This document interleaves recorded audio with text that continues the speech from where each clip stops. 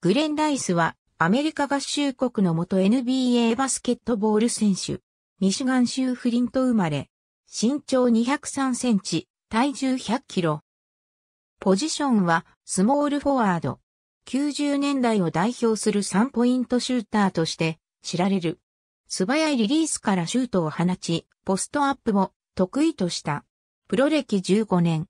ミシガン大学出身。1989年の NBA ドラフト1巡目4位で、新興チームのマイアミヒートに指名される。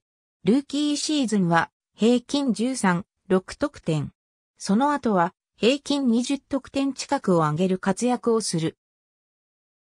1995年4月15日、オニールが所属していた時のオーランドマジックとの試合は全米にテレビ放送されてライスは56得点を記録し、ヒートの1試合最高得点記録を作り、1994から95シーズンの NBA の1試合最高得点記録だった。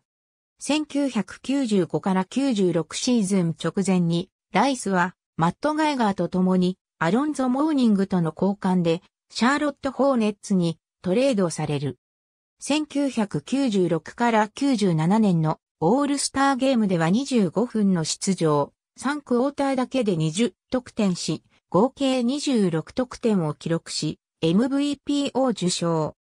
1998年に、ライスは JR リードと共に、エディ・ジョーンズ、エルデン・キャンベルとの交換で、ロサンゼルス・レイカーズにトレードされる。